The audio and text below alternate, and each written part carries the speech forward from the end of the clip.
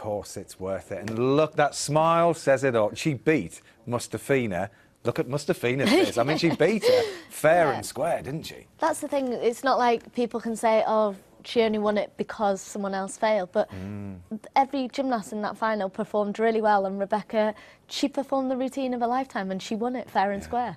And we heard there Rebecca talking about that deliberation Yeah. over breakfast. I mean, what a traumatic time to be thinking, what do I do? What do I do? Yeah, I mean it's it's very interesting. Becky, I know has had a lot of conversations between Claire, and Amanda, what routines to perform when, and I know Amanda for the team competition was very insistent on going with the play safe, get her into the final. Whereas Becky mentioned previously, she's gone all out from day one. Yeah. Um, so for her to deliberate over breakfast this morning, Yeah. it, between her and Claire, I'm sure they made the decision. Amanda always made the decision for myself.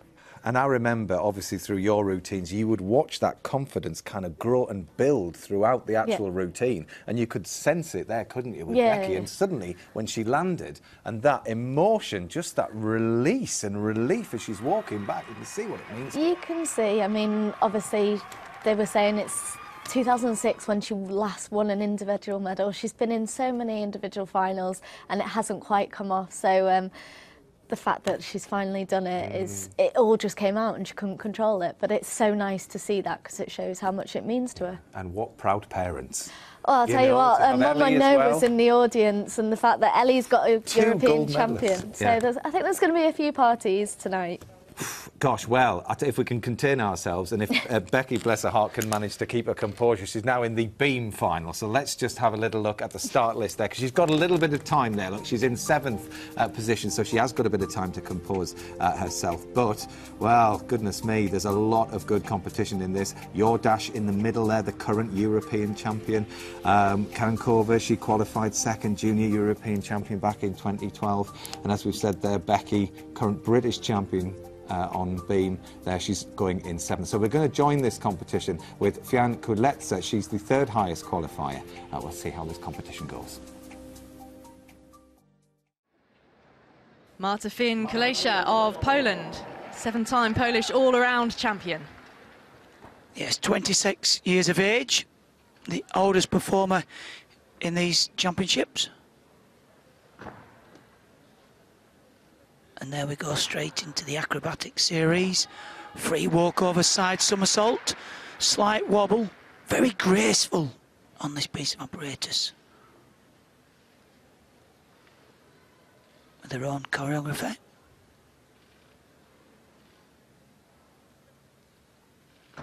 The leap, free cartwheel. Oh, now that's an interesting jump full turn split leap. Very difficult, very hard to control. Now another interesting full pirouette on uh, one foot. It's a nice originality. There's another split leap. And she wobbles to stay on the beam. Very well fought there. Maybe the nerves showing slightly. Standing back somersault.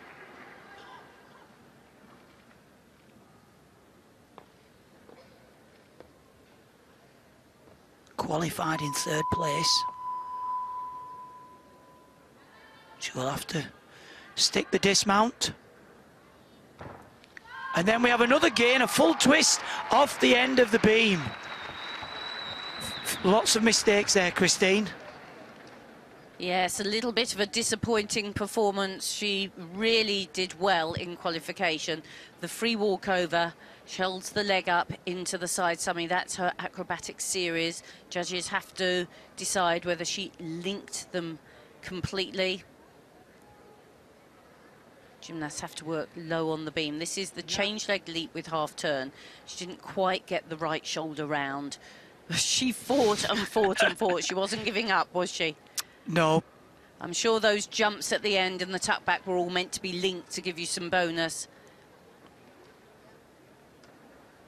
But this is, you have to travel away from the beam and somersault. It's really quite difficult. It, it's a bit unspectacular.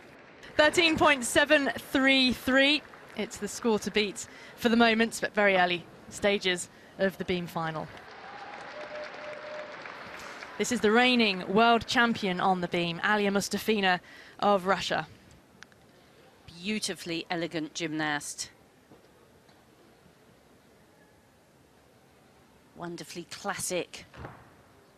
There's the two leaps that you have to include, and she's immediately into the combinations linked to the side somersault.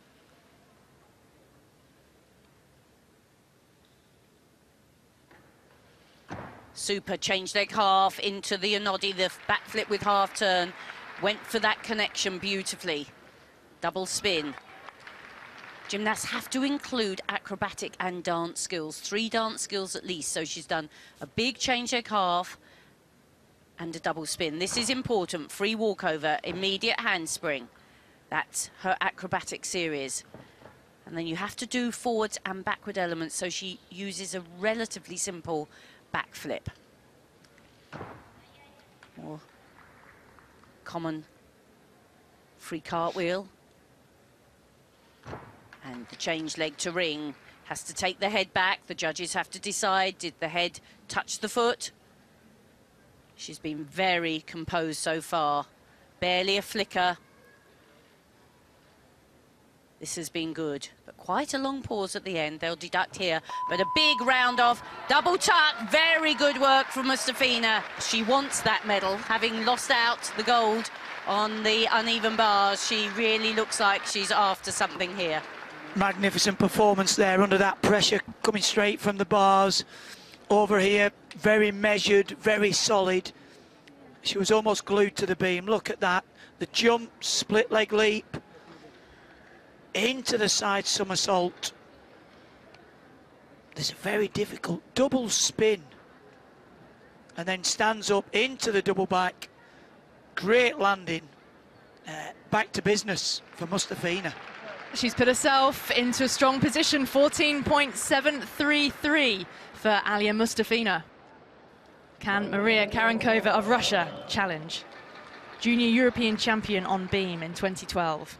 Qualified in second place, straight to business.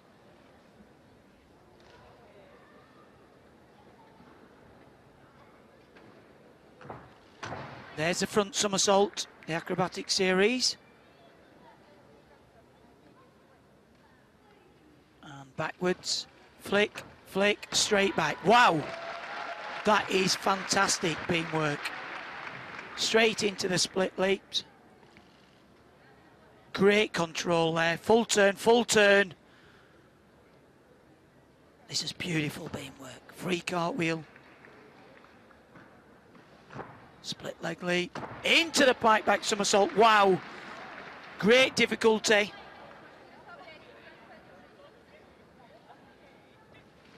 Free cartwheel. Free walkover. Only 16 years of age.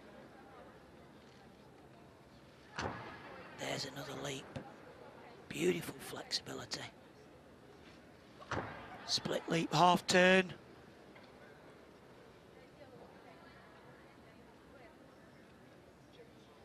Now, she'll need to compose herself for something special here. Flick, flick. Double pike back. Wow! What a routine that. Woohoo! This was an absolutely jam-packed routine. Flip to one, flip to two, straight back. No question of it being straight, as high as can be. Two back flips, double pike. And it's a very good score, 14.933. That difficulty, 6.4, puts her into the lead. And now on beam, the defending champion, it's Larisa Iordache of Romania. And Iordache can match anybody on beam for difficulty. But it's very risky. Watch this first. Backflip, stand up, full twisting tuck. Landed very nicely indeed. But not content with just one super difficulty, she comes straight back. This is a round off, straight somersault, and just a wobble on that. She held that really very well indeed. Super control and amplitude on that spin with the leg held right up in front of the face. All gymnasts have to include a full spin. Links the leaps, the change leg leap into the change leg half. More bonuses added there. Free walkover, no question of it being joined, but again, a tiny little wobble there.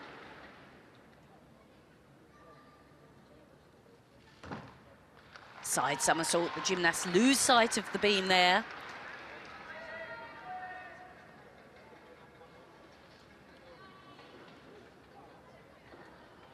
This has been a strong performance. And this, such originality in the dismount. Watch, round off, backflip, punch up high, triple twist, just a little hop. That was a strong challenge from Iordache. Couple of tiny wobbles, but very difficult. Very difficult. Round off straight back. That's where she did well to stay on the beam. Great leaps. I'm sure there will be no doubt with the combination. Look at that split leap, half turn. Free walkover, free cartwheel. And look at this dismount. Round off flick, triple twist. Well, she won't be defending her title, but Larisa Iordache goes into second place, 14.8 for the defending European champion.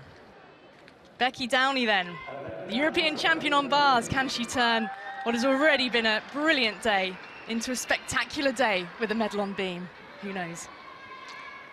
Becky Down is a beautifully fluent, elegant gymnast. But it'll be quite a test to have come from the high to perform here. But that was a lovely front somersault, little hop on landing. Free cartwheel into the layout somersault, lovely technique.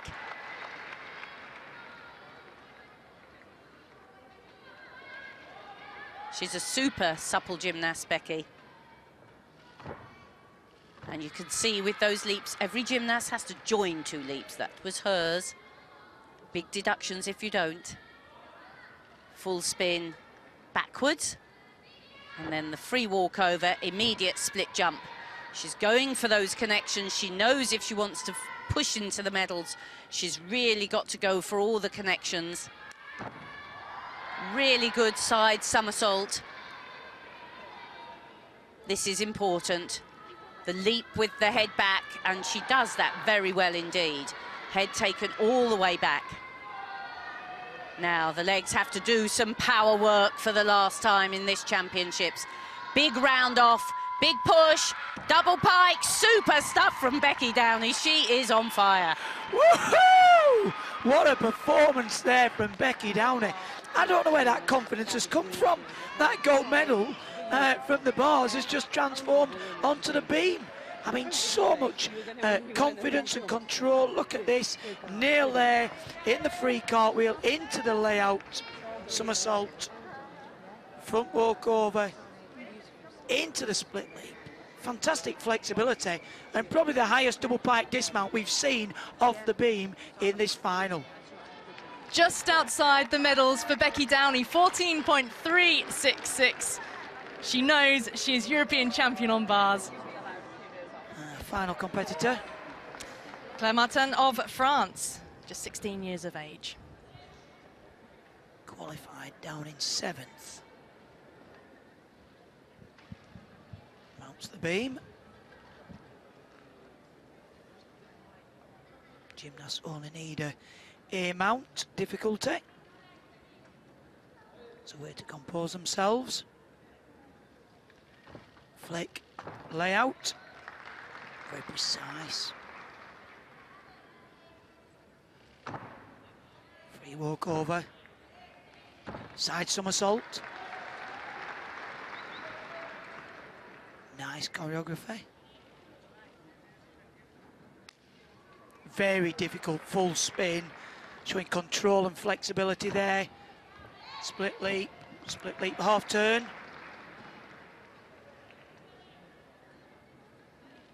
Very elegant gymnast.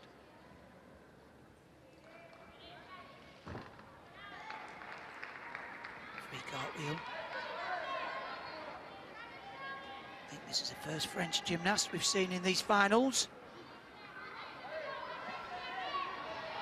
There we go into the roundhouse double pike. Oh, unfortunate landing there, out too soon. So big celebrations there from the Russian team.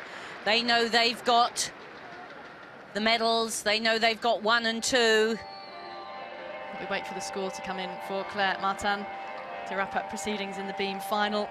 13.366 puts her down into seventh place. It means that Becky Downie will finish in fourth, just outside the medals for her. So Maria Kharenkova is the European champion. Larisa Iordache, who was uh, the defending champion, silver this time round. And Alia Mustafina, the reigning world champion, takes the bronze. And Becky Downie is heading in the right direction on the beam, certainly, has the gold medal, and that is what she'll remember from these championships in the bar, of that bars final. So gold, as we know, on the uneven bars in the beam, just missing out on the podium. Yeah, for beam, I mean, I was on such a high after bars, it was, and it was very emotional because obviously uh, everyone knows I've waited so long to get this medal, and um, I kind of had about 10 minutes to go into the back gym. I quickly changed leotards just to like freshen up and kind of get my head back in it, and I had a quick go on the beam. My warm up was a bit pathetic to be honest. I was a bit all over the place. My coach just said to me, just calm down, you know the routine, and um, I just went in there and just went to enjoy it because the last two comps that we've done on beam has been huge pressure for the team. So there was a bit of a relief that that pressure had kind of gone. Um, I just went to wanted to enjoy it and to produce the best beam score I have at these championships is a great achievement and it's my first beam final, so I couldn't have asked for any more.